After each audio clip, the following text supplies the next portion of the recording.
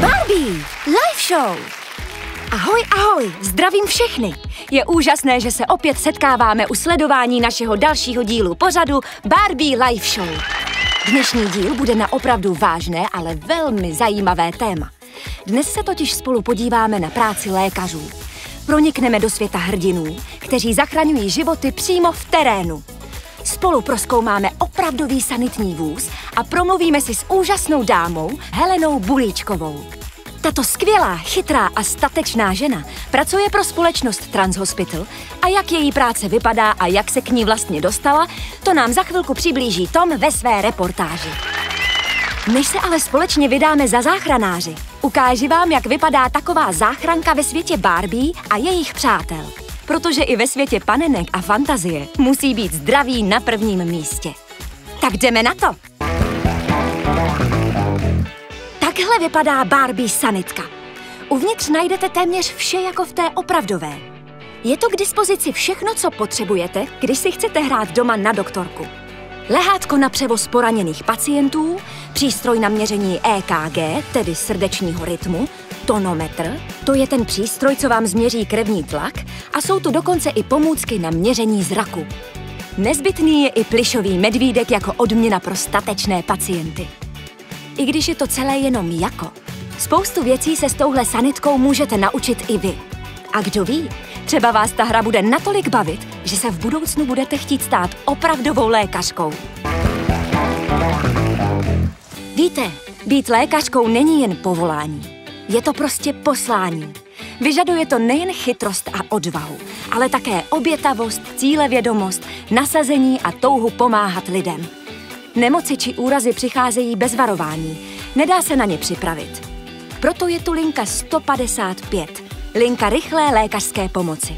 Více se dozvíme již po kratičké reklamní pauze.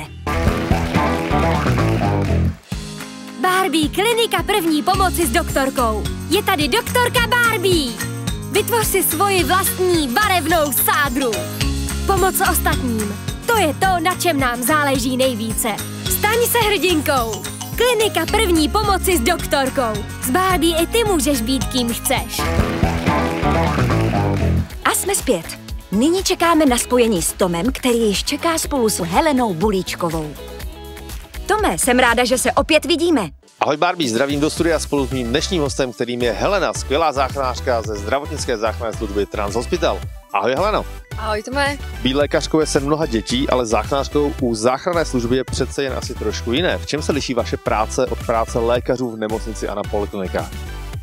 Tak uh, hlavní asi je to, že záchranář, uh, abych to řekla tak laicky, je malý doktor, bez diplomu. Eh, to znamená, že vlastně můžeme vykonávat eh, taky hodně práce s pacientem a když potřebujeme dělat nějaký vážnější výkony nebo potřebujeme poradit, tak od toho máme lékaře, kteří nám pomohou. To musí být opravdu velice náročné, ale řekni nám, jaká byla tvoje cesta k této práci a chtěla svít záchranářkou od dětství nebo co všechno si pro to musela udělat? Tak jelikož to mám v rodině, tak moje cesta byla asi trošku jiná než u ostatních lidí lidí, ale hlavní je, aby člověk studoval, to je asi to nejdůležitější, eh, zajímal se o kroužky zdravovědy, eh, první pomoci a byl takový ten člověk, který rád pomáhá lidem a je rád, že jim pomůže a cítil to, že, že jim rád pomáhá. A já se ještě vrátím k té cestě a k tomu dětství. Já jsem se s mými kolegy a taky s tebou před natáčením. A jaká byla tvá první slova, když jsi byla úplně malinká? Tak rozhodně to nebylo máma, táta ani babička, ale jelikož doma jsme měli vysílačku, tak moje první slova bylo IZ 250 napřímo, což bylo tenkrát volací znak našeho dispečinku. Hele, naše diváky Barbie, ale také mě velice zaujala vaše sanitka. Mohla bys nás provést touto sanitkou? Určitě není problém. Eh, máme i normální sanitky, ale máme i speciální sanitky. A samozřejmě, co se týká normální sanitky, tak ta je plně vybavená uh, nosítky, je tam defibrilátor, jsou tam další různé uh, léčiva, léky, obvazy a různé materiály, které jsou potřeba uh, k tomu, aby se zajistil pacient. Takže je to vlastně malá plně vybavená nemocnice na kolech a můžeš nám prosím popsat, jak vypadá celý výjezd v okamžiku, někdo zavolá na linku 155? Tak je to vlastně, že když se stane nějaká nehoda nebo nějaký úraz, vy vytočíte linku 155, tak vám to tam rovnou už vezme nějaký zdravotník na, t- na tom dispečinku, který od vás vytěží ty nejdůležitější informace, což je vaše jméno, místo a co vám je. Když on už s vámi komunikuje, tak už v tu chvíli posílá tu sanitku. Takže vlastně by nemělo docházet k prodlevě toho, když budete volat na jiná čísla. A vlastně, když uh, oni to předají sanitce, tak uh, záchranáři jedou, dojedou do, na místo učení, tam vás buď ošetřej, zjistí, jestli to je dál na převoz do nemocnice, a záleží potom na stavu a lokalitě, kde se nacházíte a potom je dále převést do nemocnice. Dá se ve zkratce jednoduše říct, za jak dlouho se pacient například dostane od zavolání do právě nemocnice, pokud je to potřeba? Záleží na situaci a na lokalitě. Když vezmeme velký města, jako třeba u nás Prahu, tak tam ta dojezdovost bude rozhodně kratší, než třeba uh, někde, když budeme v horních dolních koťuhulkách, kde ta dojezdovost může být až půl hodiny, klidně i hodina.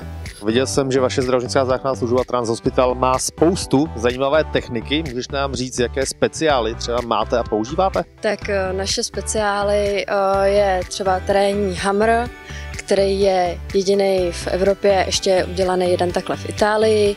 Je to speciální sanitka, která se dostane do těžko přístupných terénů, když se někomu něco stane, dejme tomu v lesích, Dále máme uh, Hagunda, což je takové obojživelné vozidlo, které uh, umí i plavat a taky dokáže ještě víc nepřístupným terénem než ten Hammer projet a vyškrábat se až na hory. A dále máme hromadu terénních, terénních vozidel, a ještě máme speciální XXL sanitku pro velké pacienty. Jsem přesvědčen, že hodně dětí by v budoucnu rádo pracovalo a jezdilo sanitkou. Co můžeš těmto dětem poradit, zkázat, nebo na co by se měli zaměřit a co je vůbec nejdůležitější pro, právě pro tuto práci? Tak hlavně je studium a hlavně, aby eh, když budou chtít, eh, měli nějaký kroužky z Českého červeného kříže nebo první pomoci, ty, když budou dělat od dětství, tak se vůbec nic nestane a pak samozřejmě studium buď gymnázia, střední odborné školy a poté dál vysoké školy. Hmm, a než se rozloučíme, chtěla bys něco vzkázat dětem, na co se mají dávat pozor, nebo co mají třeba udělat a nebát se udělat, když uvidí zraněného člověka?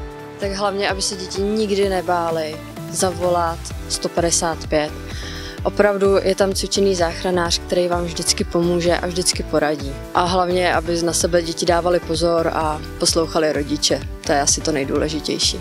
Moc si vážím toho, že jsi na nás dneska udělala čas a přeju tobě i tvým kolegům, aby všechny cesty za záchranou zdraví a života dopadly vždycky dobře. Děkuju moc, taky se mě těšilo a taky hodně štěstí.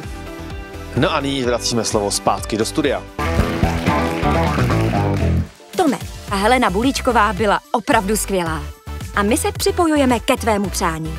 Myslím, že její vyprávění bylo pro děti nejen nesmírně zajímavé, ale také poučné a přínosné. Ona sama je dalším důkazem toho, že každý může být kým chce, jen proto musí něco udělat. Stát se lékařkou znamená mnoho let studovat, ale získávat empatii a porozumění se dá učit už nyní, třeba právě hrou s Barbie a klinikou první pomoci. Pojďme si spolu vyzkoušet, jaké to je poskytnout někomu první pomoc, přiložit obvaz nebo nasadit dlahu či sádru. Radost z pomoci je stejná, ať jste děti nebo dospělí. A není nic lepšího, než někomu navrátit zdraví nebo dokonce zachránit život.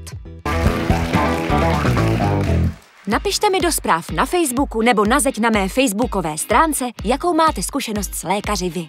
Nebo mi napište, jestli byste chtěli také pracovat v nemocnici a proč. A nebo co máte nebo naopak nemáte dělat, když chcete zůstat zdraví. Těšíme se na každý váš dopis, e-mail, zprávu nebo obrázek. Nebo nám jen napište, co by vás bavilo a zajímalo. Vaše názory a nápady jsou totiž pro nás to nejdůležitější. A to už je pro dnešek všechno. Loučíme se s Tomem a společně se budeme těšit na další díl naší show. Tak nezapomeňte, klikněte na odebírat náš kanál, ať vám nic neunikne. Ahoj!